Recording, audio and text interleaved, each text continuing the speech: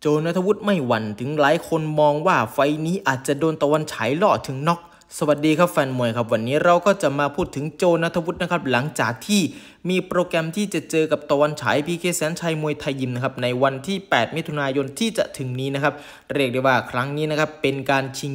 นะครับเข็มขัดแชมป์โลกนะครับมวยไทยรุ่นเฟเธอร์เวทนะครับซึ่งตะวันฉายเองนะครับเป็นแชมป์โลกอยู่นะครับไฟนี้ก็เรียกได้ว่าโจนี่ได้มีโอกาสขึ้นชิงแชมป์ทั้งทีนะครับไฟนี้ก็เลยต้องเตรียมตัวมาเพื่อที่จะกระชากเข็มขัดแชมป์จากตะวันฉายเช่นกันนะครับถึงแม้ว่านะครับในผลโหวตนะครับ ร้อยเปอร์เซ็นต์นี่จะโหวตให้ตะวันฉายถึง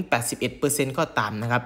และก็มีแฟนมวยบางส่วนนะครับที่มองว่าโจนี่อาจจะชนะตะวันฉายได้นี่ถึงแม้ว่าจะเป็นแค่ 19%นี่เรียกว่าเป็นเปอร์เซ็นต์ส่วนน้อยนะครับ แต่ทุกสิ่งทุกอย่างก็มีโอกาสเป็นไปได้ทั้งสิ้นนะครับ เพราะหมัดมวยนี่ไม่มีอะไรแน่นอนจริง ๆ นะครับ ไฟที่แล้วเจอกันนี่เรียกได้ว่าโจนี่ก็ทำผลงานออกมาได้ดีนะครับ ตอนนั้นนี่ชกในกติกาคิกบ็อกซิ่งและเป็นกติกาที่โจนัทวุฒินะครับ หลายคนมองว่าเขาถนัดมากกว่ากติกามวยไทยนะครับ แต่ไฟนั้นนะครับเขาก็มีอาการแผ่วปลายนะครับเพราะโจก็บอกนะครับว่า มีเวลาเตรียมตัวฟิตซ้อมเพียงแค่ 3-4 วันเท่านั้นนะครับ แต่ไฟนี้นะครับเขามีเวลาเตรียมตัวฟิตซ้อมเรียกว่า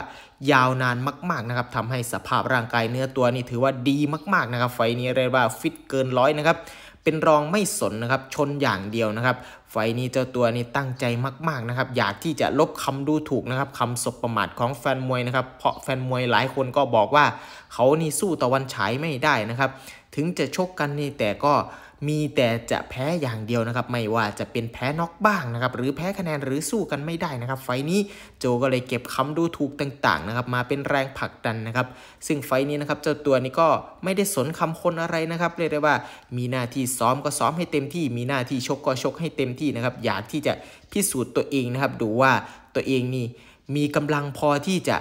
สู้กับตะวันฉายได้แค่ไหนนะครับ มีเรียกได้ว่ามีโอกาสที่จะได้เป็นแชมป์ไหมนะครับ อันนี้ก็ถือว่าเป็นอะไรที่ท้าทายนะครับ ไฟนี้เรียกว่ามีเวลาเตรียมตัวนานนะครับ สภาพร่างกายในการฟิตซ้อมเนี่ยเรียกว่าแกร่งทั่วแผ่นนะครับใครจะมองว่าสู้ไม่ได้หรือจะโดนน็อกก็รอติดตามชมนะครับ ซึ่งโจก็ยอมรับนะครับว่าตะวันฉายเป็นนักมวยที่เก่งนะครับ และก็สายตาดี โดยเฉพาะแข้งซ้ายนี่หนักหน่วงรุนแรงมากๆนะครับ แต่ไฟนี้นะครับ โจนี่ก็เตรียมมาเรียกว่าเตรียมแก้เกมมาเป็นอย่างดีนะครับ แล้วก็มีทีเด็ดนะครับมาเพื่อที่จะสู้กับตะวันฉายเช่นกันนะครับ งานนี้นะครับก็ถือว่าไม่ใช่งานง่ายนะครับของตะวันฉายที่จะเคี้ยวโจนะครับเพราะโจเองนะครับก็เรียกได้ว่าไม่ยอมให้เป็นทางผ่านของใครได้ง่าย ๆนะครับ อย่าคิดว่าจะผ่านเขาได้ง่าย ๆ นะครับ ไฟนี้เรียกได้ว่าการเตรียมตัวฟิตซ้อมนี่ หายห่วงนะครับครูปั๊มครูซ้อมนี่ก็เรียกว่าแกร่งทั้งนั้นนะครับ ไฟนี้เราก็ต้องรอดูนะครับ ดูว่าความสดอยู่ที่ตะวันฉายนะครับ ความเก๋าอยู่ที่โจนัทวุฒินะครับ ถึงแม้ว่าเปอร์เซ็นต์นี่ผลโหวตนี่